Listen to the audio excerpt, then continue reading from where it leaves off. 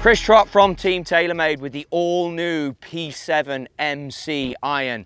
It's a new look, a new design in here, and it's so appealing to the eye. Perimeter weighting in there with a muscle cavity, that's gonna give you a little bit of forgiveness. So if you do happen to just miss one slightly, this iron will help you out with that perimeter weighting.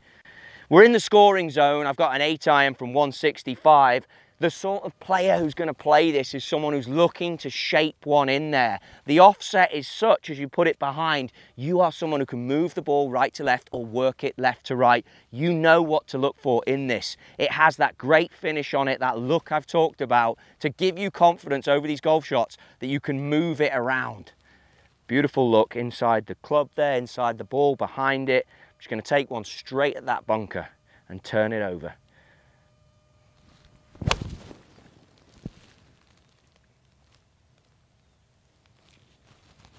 If this is something that might appeal to you, if you're a player that wants to shape golf shots, that wants that sleek, tall look with a little bit of muscle cavity in there for slight forgiveness, check out the brand new P7 MC at TaylorMadeGolf.com and learn more about this beautiful iron.